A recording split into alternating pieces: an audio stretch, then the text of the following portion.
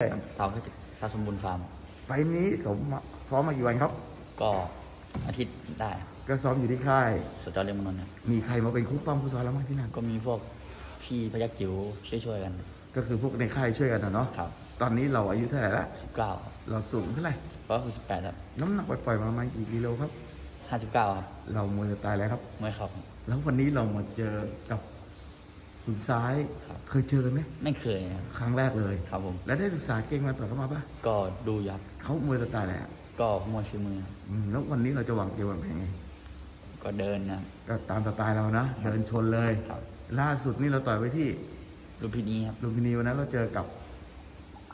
ซ้ายโคราชเนาะอืมเป็นไงวันนั้นก็ชนะคือชนะมา วันนั้นต่อยเวทเท่าไหร่ร้อยยี่ห้าร้อยยี่ห้าแต่วันนี้มาต่อยร้อยยี่สิบสองครับ ต่ำลงมาอีกทำมวยอืมมีปัญหาไหมน้ำหนักนี้ไม่มีครับ อืมเมื่อกี้สอบแล้วเป็นไงบ้างก็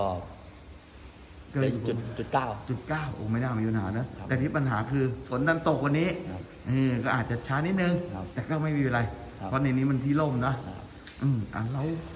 ต่อยมวยมารวมๆทั้งหมดนี่กี่ไฟล์แล้วประมาณหกสิบกว่าไฟล์ได้หกสิบไฟล์หลอกคนจังหวัด นครพนมอะฝากเชิญชวนแฟนคลับเรานิดหน่อยก็วันนี้ฝากเชียร์ด้วยครับสาวสาวสมบูรณ์ฟาร์มเต็มที่แน่นอนครับ อืมไฟล์นี้เราคุมคุมมาประมาณกี่กิโลก็สองโลอะ สองโลได้เนาะโอเคครับเดี๋ยวน้องชายครับ